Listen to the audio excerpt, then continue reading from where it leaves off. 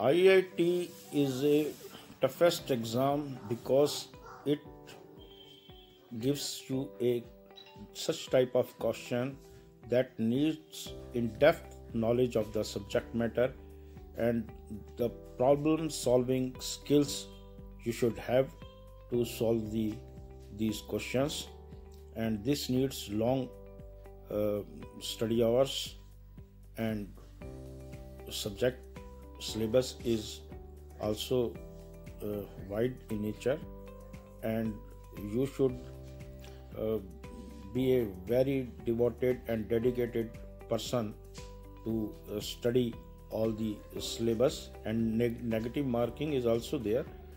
So all facts should be mm, uh, uh, you should consider uh, before sitting in the exam. Thank you